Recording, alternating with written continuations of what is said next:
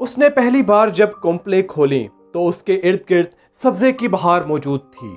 उसने अपने जैसे कई दरख्तों को कितार दर कतार खड़ा पाया।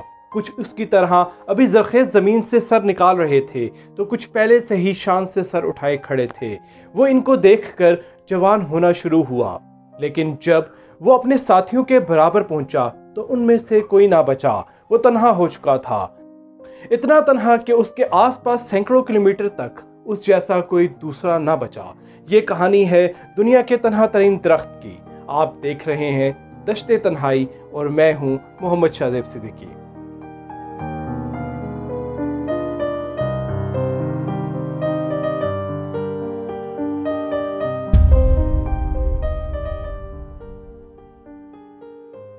कहते हैं कि तन्हाई इंसान को मार देती है, लेकिन क्या इसका इतलाक पौधों और जानवरों पर होता है कि नहीं? साइंसी माहरीन के नज़दीक ऐसा ज़रूरी नहीं।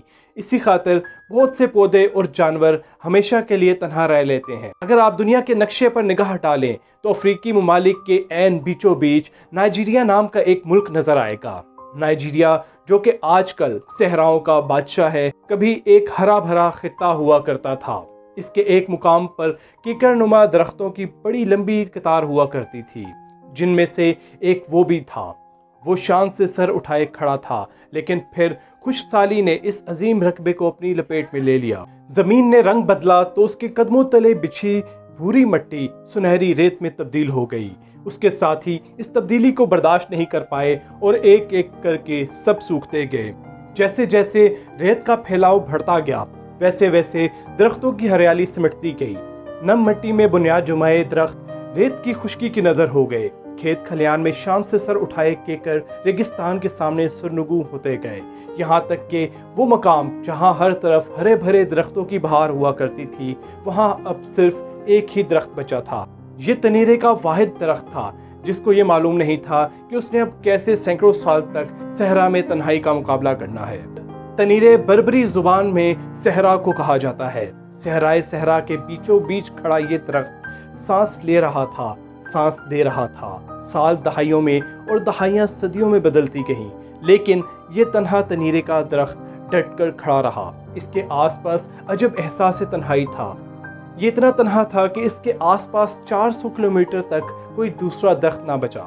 इस फासले का अंदाज़ा आप ऐसे लगाइए कि अगर आप इस्लामाबाद से मुल्तान, बजरिया, लाहौर जाएँ तो आपको इस पूरे सफ़र में सिर्फ़ लाहौर में एक दरख्त खड़ा दिखाई दे। इसके इर्द गिर्द हर किस्म के सब्जे का नामो निशान मिट चुका था। खूनख्वार सहरा में सिर्फ़ वो दरख्त था और सैकड़ों मील तक फैली रेत की चादर। दोस्तों, तन्हाई एक ऐसा लफ्ज़ है जिसका तस्वुर जहन में आते ही उदासी या अकेलेपन का एहसास उभरता है। लेकिन इस कदर तन्हाई के बावजूद ये दरख्त मायूसियत की बजाय ज़िंदगी की अलामत बनकर उभरा। बीसवीं सदी के इब्तदाई सालों में इस दरख्त को उस वक्त अहमियत मिलना शुरू हुई, जब इलाके की नक्शाकशी करते हुए इस दरख्त को बतौर बेंचमार्क इस्तेमाल किया जाने लगा। दुनिया के कोने कोने से साइंसदानों की टीमें सर्वे के लिए आती और हर सर्वे के लिए इस दरख्त को बतौर बेंचमार्क इस्तेमाल करती। ऐसा करना उनकी मजबूरी भी था, क्योंकि इसके सिवा सैकड़ों किलोमीटर तक ऐसा कोई और मुकाम नहीं था जिसे बतौर संगे मील चुना जा सके।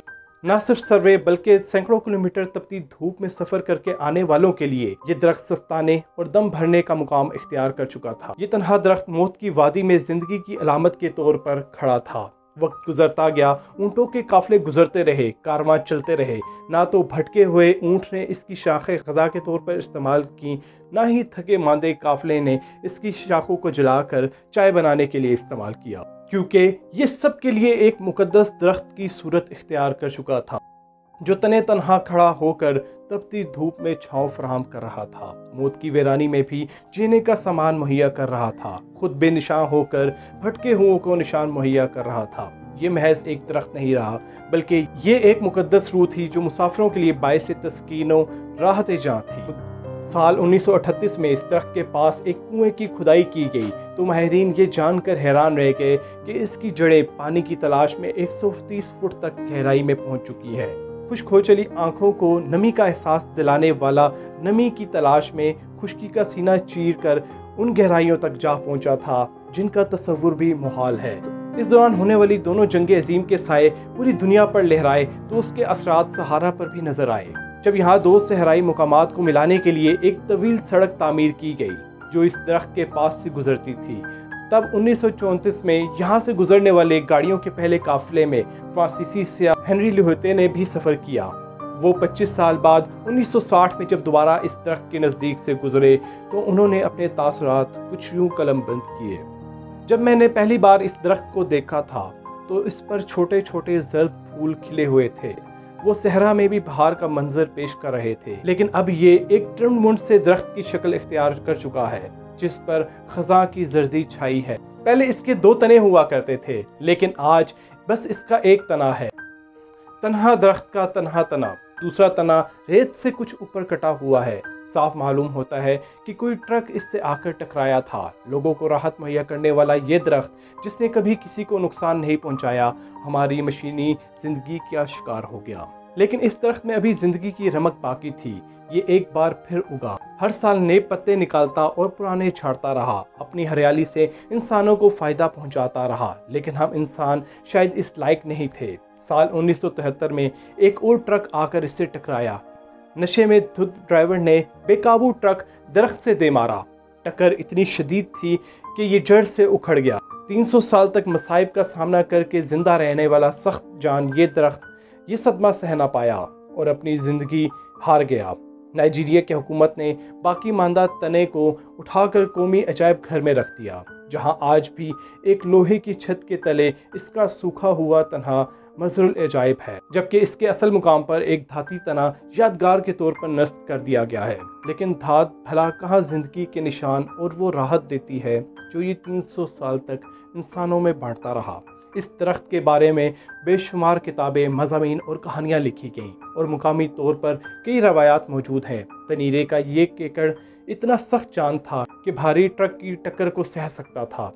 इसकी बुनियादें इतनी मज़बूत थीं कि वो एक बार फिर सर उठा सकता था, लेकिन दरख्त भी आखिर एहसास रखते हैं। क्या ज़रूरी था कि ये सड़क दरख्त के पास ही बनाई जाती और क्यों आखिर एक ट्रक बेकाबू होकर इसी दरख्त से टकराया? सैकड़ों किलोमीटर तक सफ़र करता ये ट्रक आखिर बेकाबू होकर रेत में धंस भी तो सकता था। 300 साल से तन्हाइयों के दश्त में खड़े इस केकड़ के दरख्त ने करंतना में रहकर भी हर तरह के आलाम झेले थे। वो गैर मामूली तौर पर सख्त जान था। लेकिन शायद मशीनी ज़िंदगी का वायरस अगर फैल जाए तो उसके सामने करंतना नामी जैसी कोई भी तन्हाई अहमियत नहीं रखती। इसके साथ ही हम आज की वीडियो का अख्ताम करते हैं। कमेंट सेक्शन में हमें बताइएगा कि आपको दश्त तन्हाई सीरीज़ कैसी लगी।